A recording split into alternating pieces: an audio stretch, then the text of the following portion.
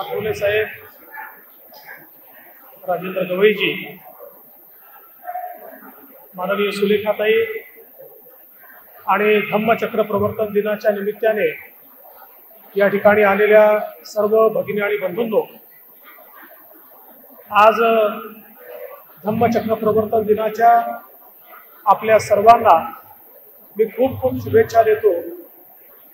खरं म्हणजे dragon palace temple ही एक अशी जागा आदरणीय सुलेखाताईंनी या ठिकाणी तयार केली की ज्याच्यामुळे नागपुरात येणाऱ्या सर्व भाविकांना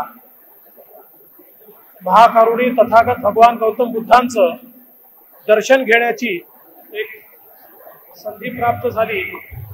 आणि आज नागपूरला आंतरराष्ट्रीय पटलावर दोन गोष्टींमुळे ओळखलं जातं.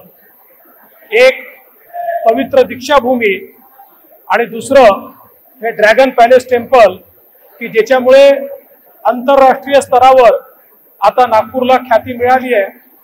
खरं म्हणजे ताईंनी केवळ हे ड्रॅगन पॅलेस टेम्पल नाही तर याच्या आजूबाजूला खूप मोठ्या प्रमाणात काम केलं आहे स्किल डेव्हलपमेंटचं काम केलं आहे वेगवेगळ्या प्रकारची कामं केली आहे.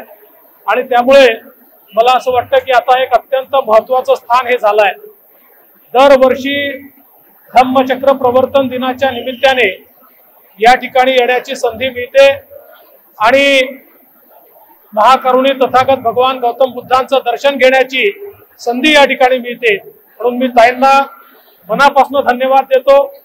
आणि आपण सगळे मिळून आजच्या या दिवसाच्या निमित्ताने भारतरत्न महामानव डॉक्टर बाबासाहेब आंबेडकरांनी संविधानाच्या माध्यमातून आपल्याला जो मार्ग दाखवला त्या मार्गावर चालण्याचा आणि त्यासोबत डॉक्टर बाबासाहेब आंबेडकरांनी भगवान गौतम बुद्धांचा जो धम्म आपल्याला सांगितला त्या धम्माच्या मार्गावर चालण्याचा संकल्प आपण सगळे लोक मिळून घेऊया. मी पुन्हा एकदा ताई आपले खूप मनापासून आभार मानतो. सर्वांना पुन्हा एकदा धम्मचक्र प्रवर्तन दिनाच्या खूप खूप शुभेच्छा देतो. आणि माझं बोलणं संपवतो. धन्यवाद. जय हिंद जय भीम जय भारत.